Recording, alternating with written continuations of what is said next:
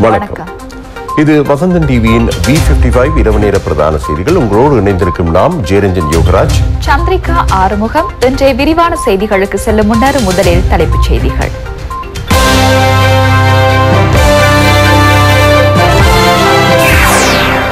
போராட்டக்காரர்களுக்கு யோசனை முன்வைத்த ஜனாதிபதி. கோட்டாபயவிடமிருந்து கர்தினாலுக்கு காரசாரமான பதில்.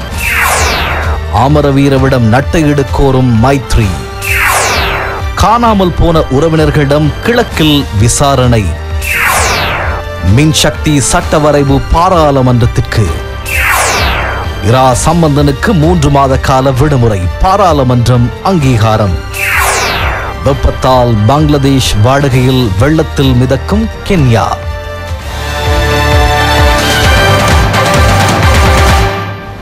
இனி விரிவான செய்திகள்.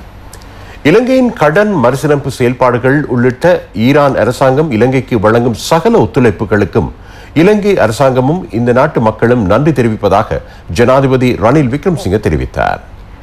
இலங்கையுடன் ஈரான் இணைந்து செயற்படுவதாக ஒன்றிணைந்த ஊடகவியலாளர் சந்திப்பில் பங்கேற்ற ஈரான் ஜனாதிபதி இப்ராஹிம் ரைசி தெரிவித்தார். இலங்கை மற்றும் ஈரானுக்கு இடையிலான ஐந்து புரிந்துணர்வு ஒப்பந்தங்கள் நேற்றைய தினம் கைச்சாத்திடப்பட்டன. ஜனாதிபதி ரணில் விக்ரமசிங்க ஈரான் ஜனாதிபதி இப்ராஹிம் ரைசி ஆகியோர் தலைமையில் ஈரான் மற்றும் இலங்கைக்கு இடையில் தொடர்புகளை மேலும் வெளிப்படுத்துவதற்கு புரிந்துணர்வு ஒப்பந்தங்களின் ஊடாக எதிர்பார்க்கப்படுகிறது. சினிமா துறை ஊடகம் சுற்றுலா கூட்டுறவு நூலகம் கலாசார விஞ்ஞானம் தொழில்நுட்பம் மற்றும் விளையாட்டு ஆகிய துறைகளில் ஒத்துழைப்புகளை மேம்படுத்தும் வகையில் புரிந்துணர்வு ஒப்பந்தங்கள் மேற்கொள்ளப்பட்டுள்ளன. ஒப்பந்தங்கள் கைச்சாத்திட்டதன் பின்னர் இருநாட்டு ஜனாதிபதி ஜனாதிபதிகளும் ஒன்றிணைந்த ஊடகவியலாளர் சந்திப்பில் கலந்து கொண்டு கருத்து தெரிவித்தனர். I would like to take this opportunity to thank the Islamic Republic of Iran not only for extending a financing for the Umayyad project, நான் இந்த சந்தர்ப்பத்தில் உமா ஓயா வேலை திட்டத்திற்காக நிதி மாத்திரமன்றி பொறியியல் மற்றும் தொழில்நுட்ப ஒத்துழைப்பை வழங்கியமைக்காக ஈரான் இஸ்லாமிய குடியரசுக்கு நன்றி தெரிவிக்கின்றேன். வரலாற்றில் பேஷியா மற்றும் அனுராதபுரம் இணைந்து கட்டியெழுப்பப்பட்ட வரலாற்று நீர்ப்பாசன திட்டங்கள் தொடர்பில் நீர்ப்பாசன தொடர்புகள் குறித்து நவீன யுகத்தில் கொண்டுவரப்பட்ட சந்தர்ப்பமாக இதனை குறிப்பிட முடியும். விஞ்ஞான தொழில்நுட்ப விவசாய மின்சக்தி உற்பத்தி உள்ளிட்ட பல்வேறு துறைகளில் அவர்கள் பெற்றுக்கொண்ட வெற்றிக்காக நான் ஈரான் மக்களுக்கு வாழ்த்துக்களை தெரிவிக்கின்றேன். அத்தோடு பொருளாதார ரீதியாக எமது நாடு எதிர்கொண்டிருந்த சவால்களின் போது கடன் மறுசீரமைப்பு செயற்பாடுகளுக்கு வழங்கிய பங்களிப்புக்கும் நன்றி தெரிவிக்கின்றேன். எதிர்காலத்தில் இலங்கையின் அபிவிருத்தி நடவடிக்கைகளுக்காக தொடர்ச்சியாக வழங்கும் பங்களிப்புக்கு ஈரான் ஜனாதிபதி இப்ராஹிம் ரைசிக்கு விசேட நன்றியை தெரிவிக்கின்றேன். உலக அமைதிக்காக ஈரானுடன் இணைந்து நாம் செயற்பட தயார் என்பதையும் நான் கூற விரும்புகின்றேன்.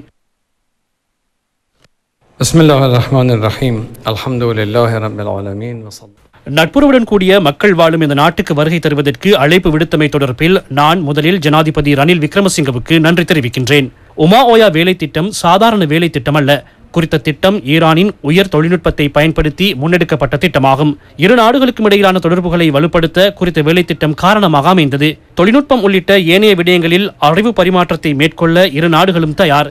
எந்தவொரு பொருளாதார தடைக்கும் ஈரானை தடுத்து நிறுத்த முடியாது. ஆசியாவில் உள்ள ஏனைய நாடுகளுக்கும் எமது அறிவையும் தொழில்நுட்பத்தையும் பெற்றுக் கொடுக்க தயார்.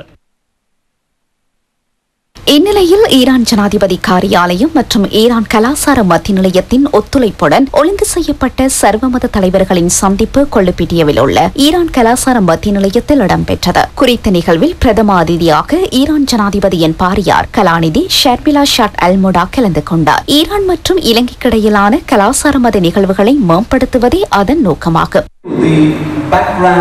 இந்நிலையில் உமாவோய பல்நோக்கு அபிவிருத்தி வேலை திட்டத்தை மக்கள் மயப்படுத்தும் நிகழ்வில் கலந்து கொண்ட ஈரான் ஜனாதிபதி இலங்கைக்கான ராஜதந்திர சுற்றுலாவை நிறைவு செய்து நாட்டிலிருந்து பயணமானார். நாட்டை கட்டி எழுப்புவதற்காக அன்றி ஒருபோதும் மீண்டும் போராட்டத்தில் இணையக்கூடாது என ஜனாதிபதி ரணில் விக்ரம்சிங்க தெரிவித்தார். ஐடிசி ரத்னதீப அதிசொகுசு ஹோட்டலின் திறப்பு விழாவில் பங்கேற்ற போதே ஜனாதிபதி இவ்வாறு குறிப்பிட்டார்.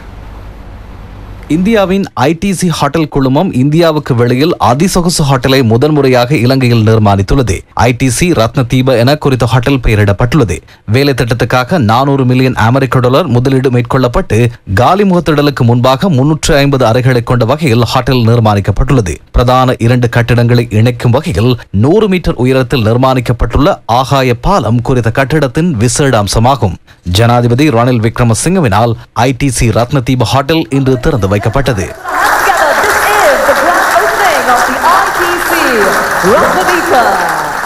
Hi everyone, namaste. And I think this strong foundation holds immense promise for the future. எமக்கு அருகிலுள்ள சந்தை தொடர்பிலேயே அவதானம் செலுத்தினோம். அயலவர்களுக்கு முன்னுரிமை வழங்குவதே பிரதமர் மோடியின் கொள்கையாகும். இலங்கைக்கு இந்த ஹோட்டல் கிடைக்கப்பெற்றது அவரது கொள்கையினாலேயே. சுற்றுலா தொழில்துறையை போன்று பொருளாதார வளர்ச்சி ஏற்பட்டுள்ளமை எமக்கு தெரிந்தது. இலங்கையில் மேலும் தொழில் வாய்ப்புகள் அதிகரிக்கும். இலங்கை வேகமாக முன்னேறும் என்பது எமது நம்பிக்கை.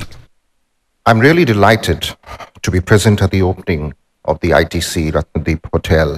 in Colombo. ஐடிசி ரத்னதீப போன்ற சுற்றுலா ஹோட்டல் இலங்கைக்கு மேலும் சுற்றுலா பயணிகளை ஈர்க்கக்கூடும் அதனூடாக மேலும் சுற்றுலாத்துறை ஹோட்டல்களும் சுற்றுலா தொழில்துறையும் இலங்கையில் முதலீடுகளை மேற்கொள்வார்கள் அதற்காக நாம் வர்த்தகங்களை முன்னெடுக்கும் பல்வேறு நாடுகளின் நண்பர்களையும் எமது நாட்டு வர்த்தகர்களையும் ஊக்குவிக்க விருப்பம் கொண்டுள்ளோம் අවුරුදු දෙකට ඉස්සෙල්ලා இரண்டு வருடங்களுக்கு முன்னர் இங்கு போராட்டம் இருந்தது. இங்கே இருந்து என்னுடைய அலுவலகத்தை கைப்பற்றியிருந்தார்கள் ஆனால் இன்று அதற்கு பதிலாக இங்கே மிகப்பெரிய ஹோட்டல் ஒன்று அமைக்கப்பட்டுள்ளது. ஐடிசி நிறுவனத்தின் பிரதான ஹோட்டலான ரத்ன தீப இங்கு அமைய பெற்றுள்ளது. இரண்டு வருடங்களில் நிலைபேறு தன்மையை உருவாக்கினோம். இரண்டு வருடங்களில் பொருளாதாரத்துக்கு உயிர் கொடுத்தோம். இங்கிருந்து முன்னோக்கி செல்ல வேண்டும். இரண்டாயிரம் வருடங்களுக்கு முன்பிருந்தே இலங்கை இந்திய பொருளாதாரம் ஒன்றிணைந்துள்ளது. அதிலிருந்து விலக முடியாது. விலகுவதற்கான நோக்கமும் இல்லை. புதிய பூகோளமயமாக்கல் சந்தர்ப்பத்தில் சவால்களை ஏற்றுக்கொண்டு இந்நாட்டு மக்களுக்கு சிறந்த எதிர்காலத்தை ஏற்படுத்துவதற்காக ஏழ்மையை இல்லாதொழித்து முன்னோக்கி செல்லும் நிலைமையை நாம் உருவாக்க வேண்டும் இங்கே ஹோட்டல் இருக்கிறது ஒருபோதும் மீண்டும் அங்கே இருந்த போராட்டம் பக்கம் செல்ல வேண்டாம் உங்களது பொருளாதாரத்தை மீண்டும் சீரழித்துக் கொள்ளாதீர்கள் இங்கே இருந்து முன்னோக்கி சென்று அதனை விடவும் சிறந்த இலங்கையை உருவாக்குவோம் මීට වඩා හොඳ ලංකාවක් ඇති කරන්න. රතන දීපයක් ඇති කරන්න. இந்நிலையில் கொழும்பு துறைமுக நகர் வளாகத்தில் நிஹான் பசி ஜப்பான் உணவகம் ஜனாதிபதி ரணில் விக்ரமசிங்கவினால் திறந்து வைக்கப்பட்டது. ஆயிரத்தி தொள்ளாயிரத்தி தொன்னூற்றி ஐந்தாம் ஆண்டு காலி முகத்திடல் டெரஸில் ஆரம்பிக்கப்பட்ட நியோன் பசி ஜப்பான் உணவகம் பிரபல சமையற்கலைஞர் தர்ஷன முனிதாசவினால் ஆரம்பிக்கப்பட்டதாகும். உணவக திறப்பு விழாவில் கலந்து கொண்ட ஜனாதிபதி அங்கு வருகை தந்திருந்த மக்களுடன் சுமூகமாக கலந்துரையாடினார். தேசிய பாதுகாப்பு தொடர்பான ஜனாதிபதியின் சிரேஷ்ட ஆலோசகர் சாகல ரத்னாக்க உள்ளிட்டோரும் அங்கு வருகை தந்திருந்தனர். தமிழ் தேசிய கூட்டமைப்பின் தலைவர் பாராளுமன்ற உறுப்பினர் இரா சம்பந்தனுக்கு சம்பளத்துடன் மூன்று மாத கால விடுமுறை வழங்கும் யோசனை பாராளுமன்றத்தில் முன்மொழியப்பட்டது. அவர் சுகவீனமிற்றிருக்கும் நிலையில் ஐக்கிய மக்கள் சக்தியின் பாராளுமன்ற உறுப்பினர் லக்ஷ்மண் கிரியல்ல இந்த கோரிக்கையை முன்வைத்தார். இதனை சார்ல்ஸ் நிர்மலநாதன் ஆமோதித்தார். அதற்கமைய பாராளுமன்றம் இதற்கு அனுமதி வழங்கியது. இதேவேளை உத்தேச இலங்கை மின்சக்தி சட்டம் மூலம் அமைச்சர் கஞ்சன விஜயசேகரவினால் இன்று பாராளுமன்றத்தில் சமர்ப்பிக்கப்பட்டது. ஸ்ரீலங்கா இலங்கையின் மின்சக்தி தொழில்துறையில் ஏற்படுத்தப்படவுள்ள மறுசீரமைப்பை அமல்படுத்துவதற்கு ஏற்பாடுகளை திட்டமிடுவதற்கும் ஆயிரத்தி தொள்ளாயிரத்தி அறுபத்தி ஆண்டு பதினான்காம் இலக்கு இலங்கை மின்சார சபை சட்டம் மற்றும் இரண்டாயிரத்தி ஒன்பதாம் ஆண்டு இருபதாம் இலக்கு இலங்கை மின்சார சபை சட்டம் ஆகியவற்றை மீளாய்வு செய்வதற்கும் அதற்கு தேவையான மாற்றங்களை உள்ளீடு செய்வதற்கும் இந்த சட்டம் மூலம் தயாரிக்கப்பட்டுள்ளது. இரண்டாயிரத்தி இருபத்தி இரண்டாம் ஆண்டு ஆகஸ்ட் மாதத்திலிருந்து பல சந்தர்ப்பங்களில் இது தொடர்பில் பேச்சுவார்த்தை நடத்தப்பட்டுள்ளது. இதில் பல உறுப்பினர்கள் கலந்து கொண்டார்கள். இப்போது இதை நீங்கள் சவாலுக்கு உட்படுத்த விரும்பினால் இரண்டு வாரத்துக்குள் உச்ச நீதிமன்றம் செல்ல வாய்ப்பு உள்ளது. அதன் பின்னர் ஆலோசனை செயற்குழுவில் இதில் மேற்கொள்ள வேண்டிய திருத்தங்கள் தொடர்பில் கலந்துரையாடுவோம்.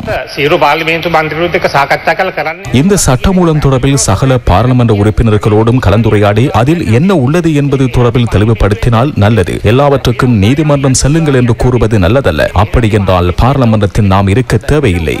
மற்ற லிகிட் நாம் பல சந்தர்ப்பங்களில் ஆளு மற்றும் எதிர்த்தரப்பு உறுப்பினர்களுக்கு அழைப்பு விடுத்தமைக்கான ஆதாரத்தை எனக்கு காண்பிக்க முடியும். அவர்களில் எத்தனை பேர் பதில் அளித்தார்கள்? எத்தனை பேர் கலந்து கொண்டார்கள்? அவை தொடர்பான சகல தகவல்களையும் என்னால் சமர்ப்பிக்க முடியும். இந்த துறையை நான்காக ஐந்தாக பிரிப்பதாக கூறப்படுகிறது. நீங்கள் இவற்றையெல்லாம் பாதுகாப்பதாக கூறியே ஆட்சிக்கு வந்தீர்கள். இவற்றை செய்வதற்கு உங்களுக்கு மக்கள் ஆணையில்லை இல்லை. இந்த சட்டமூலம் தொடர்பில் பாராளுமன்ற உறுப்பினர்கள் அவர்களுக்கு பல சந்தேகம் உள்ளதா அது தொடர்பில் ஆராய்வதற்கு கால அவகாசம் ஒன்றை வழங்குங்கள் මේ මේ මේ නිශ්චිත වනත් කෙටුම්පත පිළිබඳව සාකච්ඡාවක් ඇති කිරීම සඳහා ඉදිරි සති දෙක ඇතුළතම දෙන්න எதிர்வரும் இரண்டு வாரங்களுக்கு இதற்கான காலத்தை வழங்க முடியும் ஆனால் நாம் சகல பார்லமெண்ட் உறுப்பினர்களுக்கு இது தொடர்பில் கருத்து வெளியிட ஆறு வாரங்கள் கால அவகாசம் வழங்கினோம் ஆனால் மூவர் மாத்திரமே அதற்கு யோசனைகளை முன்வைத்தனர் விமல் வீரவங்ச மைத்திரிபால சிறிசேன சரித்த ஹேரத் ஆகிய பார்லமெண்ட் உறுப்பினர்களை யோசனைகளை முன்வைத்தனர் දෙන්න කියලා. හැබැයි මේ පාර්ලිමේන්තු නියෝජනය කරන මන්ත්‍රීවරු තුන්දෙනයි ඒකට අදහස් යෝජනා ලබා දුන්නේ විමල් වීරවංශ මැතිතුමා ලබා දුන්නා. අ, මෛත්‍රීපාල සිරිසේන හිටපු ජනාධිපතිතුමා ලබා දුන්නා. චරිත හේරත් මන්ත්‍රීතුමා අ, ලබා දුන්නා. මේ ආයතනය මෙහෙම කෑලිවලට இந்த நிறுவனத்தை பல கூறுகளாக பிரிப்பதற்கு உங்களுக்கு மக்கள் ஆணை உண்டா ජනවරවත් තියෙනවද? ජනවරවත් තියෙනවද? මොකද ගෝඨාභය රාජපක්ෂගේ පැතිවල ප්‍රකාශය බැලුවොත් ගරු නියෝජ්‍ය කතානායකතුමනි இப்போது இங்கே பேசுகின்ற கிரியல் அவர்கள் இதே வடிகத்தை செய்வதற்கு இரண்டாயிரத்தி இரண்டாம் ஆண்டு கை உயர்த்தினார்.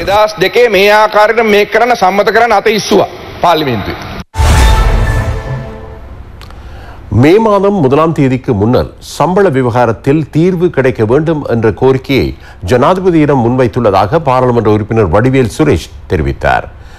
இதன்போது பாராளுமன்ற உறுப்பினர் வேலுக்குமாரும் கருத்து வெளியிட்டார். எங்களது பெருந்தோட்ட பகுதிகளிலே இருக்கக்கூடிய பெருந்தோட்ட தொழிலாளர்களினது சம்பள விவகாரமானது இன்று எரிகின்ற பிரச்சனையாக காணப்படுகின்றது. இரண்டாயிரத்தி இருபத்தொன்றிலிருந்து இன்று வரை ஒரு சதமேனும் அவர்களுக்கான சம்பள அதிகரிப்பு செய்யப்படவில்லை. பேச்சுவார்த்தை நடத்துகின்றோம் பேச்சுவார்த்தை நடத்துகின்றோம் என்று இன்று முழுமொத்த பெருந்தோட்ட தொழிலாளர்களும் காட்டிக் கொடுக்கப்பட்டிருக்கின்றார்கள். ஏன் இந்த நிலைமை? இந்த நிலைமைக்கு காரணம் இலங்கை தொழிலாளர் காங்கிரசினுடைய தலைவரும் பொதுச் செயலாளரும் இந்த நிலைமைக்கான முழுமொத்த பொறுப்பை ஏற்க வேண்டும். தலைவர் அரசாங்கத்திடம் சலுகையை பெற பொதுச் செயலாளர் கம்பெனிகளிடம் சலுகையை பெற இன்று தொழிலாளர்களுக்காக குரல் கொடுத்து அந்த தொழிலாளர்களினது உரிய நியாய சம்பளத்தை பெற்றுக்கொள்ள முடியாத மோசமான கம்பெனிகள் கண்டுகொள்ளாத நிலைமை ஏற்பட்டதற்கு இந்த இருசாராரும் பொறுப்பு கூற வேண்டும். வேண்டும் என்பதை இந்த அவையிலே நான் தெரிவித்துக் கொள்கின்றேன்.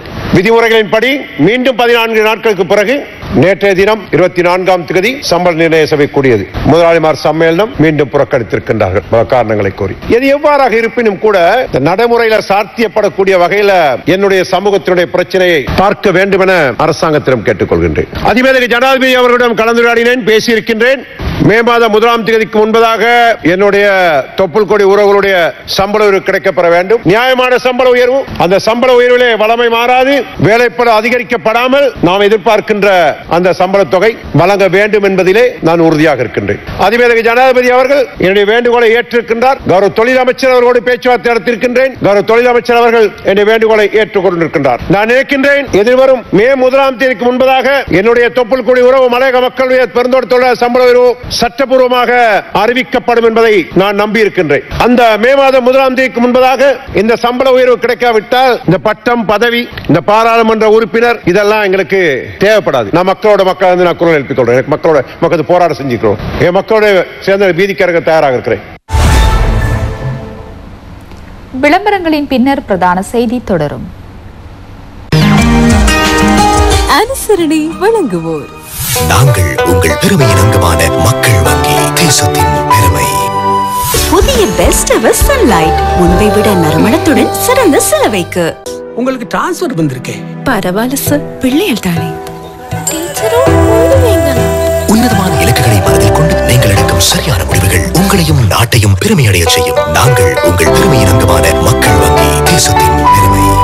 இருபத்தி நான்கு மில்லியன் பெறுமதிக்கான ஆங்கிலிஸ் தங்க பொது வருட அதிர்ஷ்டம் தங்க காசுகள் ஐம்பது மற்றும் ஒவ்வொன்றும் ஒரு லட்சம் ரூபாய் பெறுமதிக்கான பணப்பரிசுகள் ஐம்பது அத்தோடு பத்தாயிரத்துக்கு மேற்பட்ட உடனடி பரிசு வவுச்சர்களுக்கு வெல்லுங்கள் ஆங்கிலிஸ் புடிச்சிட்டு சார் பிசினஸ் நியூஸ் ஒன்னு இருக்கு. நான் கவர் பண்ணவா? இந்த ஹேர் ஸ்டைல்ல பிசினஸ் நியூஸ் நீங்க இந்த ஸ்டைல இன்னும் பார்த்தது இல்லையே புதிய Sunsilk thick and long yoghurt மற்றும் கெரட்டின் புரோட்டீன் கலந்த ஆக்டிவ் மிக்ஸினால் கூந்தல் நீளமாக இருமடங்கு அடர்த்தியாக வளரும் போது எந்த ஹேர் ஸ்டைலும் செய்து கொள்ளலாம். உலகமே தடையா இருந்தாலும் ஸ்டைலுடன் முன்னேறுங்க. ஆடைகளை முன்பை விட கவனமாக பராமரிக்க டபுள் கிளீனிங் கிறிஸ்டல் மற்றும் டபுள் பர்ஃபியூம் லாக்குடன் புதிய பெஸ்ட் எவர் சன்லைட் முன்பை விட நறுமணத்துடன் சிறந்த செலவைக்கு. சன்லைட் ஐம்பது கிராம் இப்போது இருபத்தைந்து ரூபாய் மட்டுமே. பன்னிரண்டு மில்லியன் பெறுமதிமிக்க உபகரணங்களை வெல்லுங்கள் விம் நூறு கிராம் பாக்கெட்டின் பின்புறம் உள்ள ப்ரோமோ இலக்கத்தை சைபர் ஏழு ஏழு ஏழு நூற்று இருபத்தி இரண்டு நூற்று அறுபத்தி ஆறுக்கு எஸ்எம்எஸ் செய்து சீட்டிழப்பில் பங்கு பெற்றுங்கள். விம் ட்ரீம் கிச்சன் எந்த ஒரு விலைமைப்பிற்கும் திரும்புற பக்கம் எல்லாம் ரூபாய் அறுநூற்றி அறுபத்தி ஏழிற்கு அன்லிமிட்டட் அழைப்புகளை மேற்கொள்ளுங்கள். இன்றே எஸ்எல்சி மொபிட்டலுடன் இணையுங்கள். எஸ்எல்சி மொபிட்டல் நிகரற்ற இணைப்பு. செய்திகள் தொடர்கின்றன. ஈஸ்டர் தாக்குதல் தொடர்பில் பாராளுமன்ற சபை ஒத்திவைப்பு வேளை விவாதம் இன்று இரண்டாம் நாளாகவும் இடம்பெற்றது. இங்கு தேர்தலுக்காக அல்லது தங்களுடைய வாக்குப்பலத்துக்காக பேசுவதை நிறுத்திவிட்டு ஒட்டுமொத்தமாக பாதிக்கப்பட்டிருக்கின்ற இந்த மக்களுக்கான நீதி நியாயம் நிலைநிறுத்தப்பட வேண்டும். குற்றம் செய்தவர்கள் யாரா இருந்தாலும் சட்டத்தை முன்னிறுத்தப்பட வேண்டும். அவர்களுக்கான நிவாரணங்கள் வழங்கப்பட வேண்டும். மேல் நிகழாமைக்கான உத்தரவாதம் உறுதிப்படுத்தப்பட வேண்டும். குற்றம் செய்தவர்கள் யாரா இருந்தாலும் பாதுகாப்பு பிரிவு இதை உடனடியாக இன்னும் காலெழுத்தடிப்பு இல்லாமல் அவற்றை முன் கொண்டு வர வேண்டும். இந்த இடத்திலே ஈஸ்டர் தாக்குதல் பற்றி பேசுகின்ற அதே நேரம் அதனை செய்தவர்கள் சுதந்திரமாக இருக்கிறார்கள். கொல்லப்பட்டவர்கள் பெரும்பாலானவர்கள் எண்பது விதமானவர்கள் தமிழர்கள். செய்வித்தவர்கள் சுதந்திரமாக இருக்கிறார்கள். செய்தவர்கள் இந்த நாட்டிலே இல்லை. யுத்தம் முடிந்து பதினைந்து ஆண்டுகள் நிறைவுறுகிறது என்று சொல்லப்படுகிற நேரத்தில் கூட தமிழர்கள் சுதந்திரமாக வாழ முடியாமல் இருக்கிறது செயல்பாட்டாளர்கள் செயல்பட முடியாமல் இருக்கிறது. ஒரு குற்றச்செயலை செய்பவரும் தண்டிக்கப்பட வேண்டும். அதிகாரத்தில் இருப்பவர்களினுடைய ஒரு செய்யாமையால் ஒரு செயலை செய்யாததன் காரணமாக பெரும் குற்ற விளைவுகள் ஏற்படுகிற போதும் அந்த அதிகாரத்தில் இருந்தவர்கள் தண்டிக்கப்பட வேண்டும். இதில் பல விடயங்கள் இருக்கின்றன. ஐஎஸ்ஐஎஸ்க்கு தொடர்பு இல்லை என்பது தொடர்பாக பிரதி போலீஸ் மாதிபர் முன்னாள் ஓய்வு பெற்ற சிரேஷ்ட பிரதி போலீஸ் மாதிபர் ரவிசேனரத்ன அவர்கள் ஜனாதிபதி ஆணைக்குழுக்கு தெரிவித்திருக்கின்றார். அதே போன்றும் இந்த தாக்குதலோடு சம்பந்தப்பட்டவர்கள் எவருமே சவுதி அரேபியாவிற்கோ லெபனானிற்கோ வேறு எந்த தேசத்திற்கும் அவர்கள் செல்லவில்லை என்று நிரூபிக்கப்பட்டிருக்கிறது. எனவே ஐஎஸ்ஐஎஸ்க்கு தொடர்பில்லை என்பது நிரூபணம். அதே போன்று முஸ்லிம் சமூகம் நேரடியாக செய்யவில்லை. பிறருடைய அழுத்தத்தின் காரணமாக இது செய்யப்பட்டது என்பது இந்த விசாரணைகளில் இருந்து தெரிய வந்திருக்கிறது. இப்போது இந்தியா செய்தது என்பதாக முன்னாள் ஜனாதிபதி அவர்கள் தெரிவித்திருக்கின்றார். முன்னாள் ஜனாதிபதி அன்று தாக்குதல் நடைபெற்ற போது இது எனக்கு தெரியாது போலீஸ் மா அதிபரோ அல்லது உளவு பிரிவு எனக்கு தெரியவிக்கவில்லை. நான் பொறுப்பு கொள்ள சொல்ல மாட்டேன் என்று சொன்னார். ஆனால் அன்று பிரதமராக இருந்த ரணில் விக்ரமசிங்க அவர்கள் எந்த பாதுகாப்பு கவுன்சில் கூட்டத்திற்கும் என்னை அழைக்கவில்லை. ஆனால் இந்த வகையான தாக்குதலுக்கு பொறுப்பு சொல்லியாக வேண்டும். இந்த எந்த விசாரணைக்கும் ஒத்துழைக்க தயாராக இருக்கிறேன் என்று அன்று சொன்னார். இன்று அதிகாரம் மிக்கதான ஜனாதிபதியாக அவர் இருக்கிறார். தயவு கூர்ந்து இந்த சூத்திரதாரி கண்டறியப்பட வேண்டும்.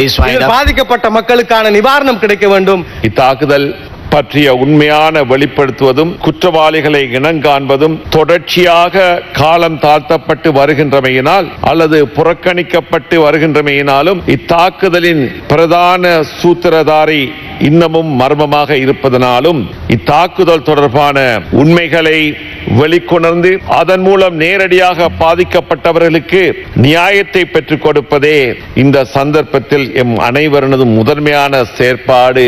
வெறும் இஸ்லாமிய பெயர் தாங்கிய ஈன பிறவிகள் பல பல்வேறு காரணங்களுக்காக மூலச்சலவை செய்யப்பட்டு அவர்களால் அரங்கேற்றப்பட்ட மிலேச்சத்தனமான தாக்குதல் காரணமாக உயிரிழந்த ஆன்மாக்களது உறவு உறவுகளுக்கும் காயமடைந்த உடல் உறுப்புகளை கூட இழந்த நிலையில் இன்றும் வழிகளோடு வாழ்க்கை நடாத்தும் அத்தனை அப்பாவி உறவுகளுக்கும் அனுதாபங்களையும் கவலைகளையும் இந்த உயரிய சபையிலே நாங்கள் அனைவரும் பகிர்ந்து கொண்டிருக்கின்றோம். பயங்கரவாத தடை சட்டத்தின் கீழ் நாடளாவிய ரீதியிலே முஸ்லிம்கள் பலரும் அநியாயமான முறையிலே கைது செய்யப்பட்டார்கள். இதனால் அவர்கள் சுய கௌரவம் பாதிக்கப்பட்டிருக்கின்றன. அநியாயமாக கைது செய்யப்பட்டதினால் அவர்களுடைய குடும்பத்தினர் பயங்கரவாதிகளாக காண்பிக்கப்பட்டார்கள் என்பதையும் நாங்கள் மறந்துவிடக் கூடாது இதனால் பெரும் மன உளைச்சலுக்கு ஆளாகி இருக்கின்ற ஒரு நிலை அந்த நேரங்களிலே அவர்களுக்கு ஏற்பட்டிருக்கின்றன. ஜஹரான்களை விசாரித்து அவர்களுக்கான நடவடிக்கை எடுக்க வேண்டும். பின்னர் தான் இந்த ஜஹரானுடன் ஈடுபட்டவர்கள் யார் என்பதை கண்டறிய முடியும் என்பதையும் இந்த இடத்திலே நான் கேட்டுக்கொள்கின்றேன். உயிர்த்த ஞாயிறு தின தாக்குதல் தொடர்பில் கார்டினல் மெல்கம் ரஞ்சித் ஆண்டகை தம் மீது சுமத்தும் குற்றச்சாட்டுகள் உண்மைக்கு புறம்பானவை என்று முன்னாள் ஜனாதிபதி கோட்டாபி ராஜபக்ச தெரிவித்தார். உயிர்த்த ஞாயிறு தின தாக்குதல் தொடர்பில் விசாரணைகளை உரிய முறையில் முன்னெடுக்காமை தொடர்பில் கார்டினல் மெல்கம் ரஞ்சித் தாண்டகை முன்வைக்கும் குற்றச்சாட்டுக்கு பதிலளிக்கும் அறிக்கையினூடாகவே அவர் இவ்வாறு தெரிவித்தார். பாராளுமன்ற தெரிவுக்குழு மற்றும் ஜனாதிபதி ஆணைக்குழு அறிக்கை வெளியிடப்பட்டுள்ளது. அதில் உள்ள பரிந்துரைகளை நிறைவேற்றும் பொறுப்பு முதலாவதாக கோட்டாபய ராஜபக்சவுக்கு வழங்கப்பட்டது. ஜனாதிபதி ஆணைக்குழு அறிக்கையை அவர் பெற்றுக்கொண்டு அடுத்த நாள் என்னை தொலைபேசியில் அழைத்த அவர் அதனை செய்ய தனக்கு கடினமான சூழல் உள்ளதாக தன்னிடம் தெரிவித்தார். அந்த பரிந்துரைகளை நிறைவேற்றும் போது தனக்கு சிநேகமான சில அமைப்புகளின் தலைவர்களை கைது செய்தல் அந்த அமைப்புகளை தடை செய்தல் ஆகியவற்றை மேற்கொள்ள வேண்டும் என்பதால் இந்த பரிந்துரையை நிறைவேற்ற முடியாதென கூறிய விடயம் எனக்கு நினைவில் இருக்கிறது. සඳහන් කළ අයුරු මට මතක් වේ. விசேட ஊடக அறிக்கையை வெளியிட்டுள்ள முன்னாள் ஜனாதிபதி கோட்டாபய ராஜபக்ச தொடர்ச்சியாக தன் மீது முன்வைக்கப்படும் குற்றச்சாட்டுகள் தொடர்பில் மக்கள் வெளிப்புடன் இருக்க வேண்டும் என அவர் குறிப்பிட்டார் உயிர்த்த ஞாயிறு தின தாக்குதல் தொடர்பில் ஜனாதிபதி ஆணைக்குழு அறிக்கை தன்னிடம் கிடைக்கப் பெற்றதும் உடனடியாக கர்தினாலை தொலைபேசியில் தொடர்பு கொண்டு தனக்கு நெருக்கமான நபர்களை கைது செய்யவும் அவர்களின் அமைப்புகளை தடை செய்வதற்கும் ஏற்படுகின்றமையினால் ஜனாதிபதி ஆணைக்குழுவின் பரிந்துரைகளை நடைமுறைப்படுத்த முடியாதென கர்தினாலிடம் தெரிவிக்கவில்லை என முன்னாள் ஜனாதிபதி கோட்டாபய ராஜபக்ச குறிப்பிட்டுள்ளார் முஸ்லிம் சமூகம் தனக்கு வாக்களிக்கவில்லை எனவும் ஜனாதிபதி தேர்தலில் அவர்கள் ஒத்துழைப்பு வழங்கவில்லை என்பது அனைவரும் அறிந்த விடயம் எனவும் அதனால் உயிர்த்த ஞாயிறு தின தாக்குதல் தொடர்பில் காணப்படும் தொடர்புகள் காரணமாக தடை செய்ய வேண்டிய எந்த ஒரு அமைப்பிலும் தனக்கு நெருங்கிய எந்த ஒரு நபரும் இருக்க முடியாதெனவும் அவர் குறிப்பிட்டுள்ளார் එම වාර්තාවේ පළමු වෙළුමේ පිටපත් அந்த அறிக்கையின் முதல் பிரதியை எமக்கு வழங்குவதை தாமதித்ததோடு அந்த அறிக்கையின் ஏனைய பிரதியை எமக்கு இல்லாமல் இருந்தமையினூடாக நாட்டின் ஜனாதிபதியாக அவருக்கு அதில் அக்கறை இல்லை என்பதும் தெரிய வந்தது. இந்த அறிக்கையின் பரிந்துரைகளை நிறைவேற்றும் பொறுப்பு தமக்கு இருந்தும் அது தொடர்பில் ஆராய்ந்து சில தெரிவு செய்யப்பட்ட விடயங்கள் மாத்திரம் அமல்படுத்துவதற்கு பரிந்துரைக்க தமது அரசாங்கத்தின் ஆறு அமைச்சர்கள் அடங்கிய குழு ஒன்றை அவர் அமைத்தார்.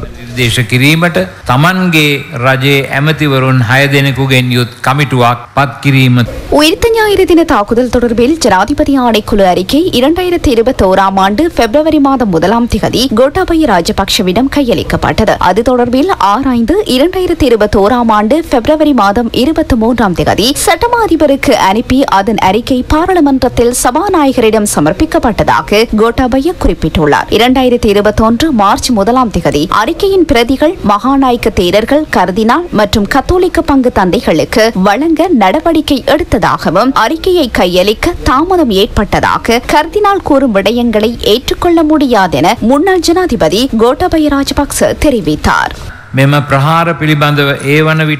இந்த தாக்குதல் தொடர்பில் அப்போது விசாரணைகளை முன்னெடுத்து வந்த சில அதிகாரிகள் அந்த பதவியிலிருந்து நீக்கப்பட்டு அந்த குழுவின் பிரதானி சிறைக்கு அனுப்பப்பட்டு தனக்கு நெருக்கமான அதிகாரிகளை மாத்திரம் அதற்காக நியமித்து இந்த விசாரணையை சீர்குலைப்பதற்கு அவர் எடுத்த நடவடிக்கை உண்மையில் கவலைக்குரியதாகும். உயிர்த்த ஞாயிறு தின அறிக்கை கிடைக்க பெற்றதும் பாராளுமன்ற தெரிவு குழுவின் பரிந்துரைகளுக்கு அமைய முன்னுரிமைகளின் அடிப்படையில் உரிய அரசு திணைக்களங்கள் நிறுவனங்களுக்கு அதனை விநியோகிப்பதோடு அமைச்சரவை உபக்குழுவையும் நியமித்ததாக கோட்டாபய தனது அறிக்கையில் சுட்டிக்காட்டியுள்ளார். இரண்டாயிரத்து பத்தொன்பதாம் ஆண்டு நவம்பர் மாதம் பலிஸ்மா அதிபரின் பரிந்துரைக்கமையவே பலிசானை குழுவினால் அக்கால பகுதியில் குற்றப்புலனாய்வு திணைக்களத்தின் பணிப்பாளர் மாற்றப்பட்டதாகவும் அப்போதைய அரசாங்கத்தினால் பத்தொன்பதாவது அரசியலமைப்பு திருத்தத்திற்கமைய அமைக்கப்பட்ட தேசிய பலிசானை குழுவினால் நடைமுறைப்படுத்தப்பட்டதாகவும் அதன் பின்னர் குறித்த அதிகாரி வேறு ஒரு வழக்கில் பணி நீக்கம் செய்யப்பட்டதாகவும் கோட்டாபய வெளியிட்டுள்ள அறிக்கையில் தெரிவித்துள்ளார். அதன் காரணமாக உயிர்த்த ஞாயிறு தின விசாரணைகள் சீர்குலைக்கப்பட்டுள்ளதாகவும் குற்றப்புலனாய்வு திணைக்களத்தின் அதிகாரிகள் மாற்றப்பட்டமையே காரணம் என கர்தினால் முன்வைக்கும் தன்மீதான குற்றச்சாட்டுகளை நிராகரிப்பதாகவும் கோட்டாபய குறிப்பிட்டுள்ளார். உயிர்த்த ஞாயிறு தின தாக்குதல் இஸ்லாம் பிரிவினைவாதிகளினால் மேற்கொள்ளப்பட்டுள்ளதாகவும் குறித்த தற்கொலை குண்டு தாக்குதல்களை மேற்கொண்ட நபர்கள் மற்றும் குழுக்களின் செயற்பாடுகள் தொடர்பில் அப்போதைய அரசாங்கத்தின் உயர்மட்ட விசாரணை பிரிவான சிஐபி இரண்டாயிரத்து பத்தொன்பதாம் ஆண்டு உயிர்த்த ஞாயிறு தின தாக்குதலுக்கு பல மாதங்களுக்கு முன்னர் விசாரணைகளை நடத்தியிருந்ததாகவும் எனினும் தாக்குதலுக்கு முன்னர் உரிய பயங்கரவாதிகளை அவர்கள் கைது செய்யவில்லை எனவும் அறிக்கையில் குறிப்பிடப்பட்டுள்ளது. இந்நிலையில் உயிர்த்த ஞாயிறு தின தாக்குதல் தொடர்பில் தனக்கு எதிராக தொடர்ச்சியாக குற்றச்சாட்டுகள் முன்வைக்கப்படுவது தொடர்பில் பொதுமக்கள் வெளிப்புடன் நடந்து கொள்ள வேண்டும் என இலங்கையின் ஏழாவது நிறைவேற்று அதிகாரம் கொண்ட ஜனாதிபதியான முன்னாள் ஜனாதிபதி கோட்டாபய ராஜபக்ச குறிப்பிட்டுள்ளார். அமைச்சர் மஹிந்த அமரவீரவுக்கு எதிராக ஒரு பில்லியன் ரூபாய் இழப்பீட்டை கோரி முன்னாள் ஜனாதிபதி மைத்ரிபால சிறிசேன கடிதம் ஒன்றை அனுப்பியுள்ளார். நேற்று இடம்பெற்ற ஊடக சந்திப்பில் அமைச்சர் மஹிந்த அமரவீர தெரிவித்த கருத்தை அடுத்தே முன்னாள் ஜனாதிபதி மைத்ரிபால சிறிசேன இந்த இழப்பீட்டை கோரியுள்ளார். ஸ்ரீலங்கா சுதந்திர கட்சியின் புதிய பதில் தலைவராக கடந்த சில தினங்களுக்கு முன்னர் நியமிக்கப்பட்ட அமைச்சர் விஜயதாச ராஜபக்சவுக்கு அந்த பதவியை வகிப்பதற்கு தடை விதித்து கொழும்பு மாவட்ட நீதிமன்றம் நேற்று உத்தரவு பிறப்பித்தது. அந்த கட்சியின் பதில் தலைவராக செயற்பட்ட துஷ்மந்த மித்ரபாலவும் குறித்த பதவியில் செயற்படுவதற்கு நேற்று தடையுத்தரவு பிறப்பிக்கப்பட்டது. எவ்வாறெனினும் இந்த தடையுத்தரவு பிறப்பிக்கப்பட்டதன் பின்னர் முன்னாள் ஜனாதிபதி மைத்ரிபால சிறிசேன மற்றும் அமைச்சர் விஜயதாச ராஜபக்ச ஆகியோர் தலைமையில் நேற்று விசேட கூட்டம் ஒன்று ஏற்பாடு செய்யப்பட்டிருந்த நிலையில் அதில் பதில் தலைவர் செயலாளர் துஷ்மந்த மித்ரபால உள்ளிட்ட உறுப்பினர்கள் பலர் கலந்து கொண்டனர். இந்த கூட்டத்தின் பின்னர் ஊடகங்களுக்கு கருத்து வெளியிட்ட துஷ்மந்த மித்ரபால சகல தடைகளுக்கு முகம் கொடுக்க தாம் உள்ளிட்ட கட்சி தயாராக உள்ளதென தெரிவித்தார். ஊடகங்கள் ஊடாக தெரிவிக்கப்பட்ட கருத்தின் காரணமாக தமக்கு அபகீர்த்தி ஏற்பட்டுள்ளதாக தெரிவித்து முன்னாள் ஜனாதிபதி மைத்ரிபால சிறிசேன அமைச்சர் மஹிந்த அமரவீரவிடம் ஆயிரம் மில்லியன் ரூபாய் இழப்பீட்டை கோரி கடிதம் ஒன்றை அனுப்பியுள்ளார். தனக்கு ஏற்படுத்தப்பட்ட அபகீர்த்திக்காக இந்த இழப்பீட்டுத் தொகையை பதினான்கு நாட்களுக்குள் செலுத்துமாறு அவர் கேட்டுள்ளார். இதேபோல ஸ்ரீலங்கா சுதந்திர கட்சியின் பதில் தலைவராக நியமிக்கப்பட்ட அமைச்சர் நிமல் சிறிபாலடி சில்வா தலைமையில் அந்த கட்சியின் அரசியல் குழு கூட்டம் இன்று பிற்பகல் இடம்பெற்றது. இதில் லசந்த அழகியவண்ண மஹிந்த அமரவீர உள்ளிட்டோர் கலந்து கொண்டனர். இதன்போது மைத்ரிபால சிறிசேன கோரியுள்ள இழப்பீடு குறித்து அமைச்சர் மஹிந்த அமரவீர கருத்து வெளியிட்டார்.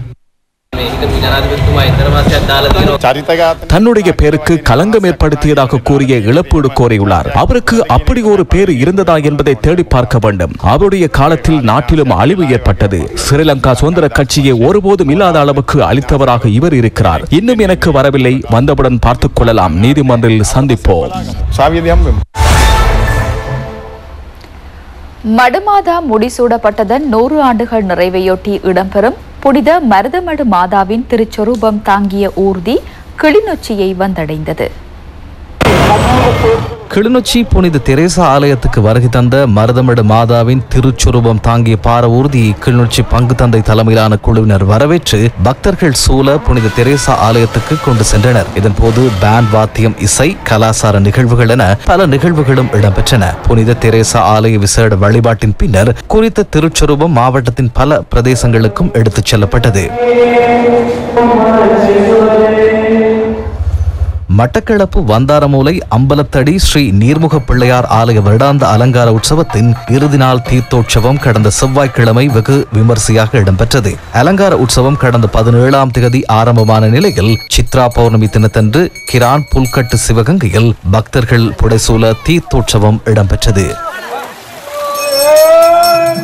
வந்தாரமூலை மகாவிஷ்ணு ஆலய விசேட யாக பூஜை மற்றும் வருஷாபிஷேக மனவள கோல விழாவும் ஆயிரத்தெட்டு சங்காபிஷேகமும் அண்மையில் இடம்பெற்றது. மகா கும்பாபிஷேகம் இடம்பெற்று ஓராண்டு நிறைவை முன்னிட்டு இடம்பெற்ற குறித்த விசேட பூஜையில் பெரும் திரளான பக்தர்கள் கலந்து கொண்டனர்.